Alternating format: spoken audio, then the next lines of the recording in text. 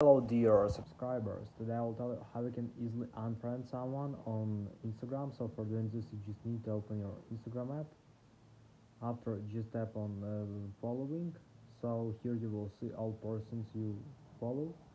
So after just choose person you want to unfollow, just open this and just tap on following and here you will see unfollow, just tap on it and just submit unfollow.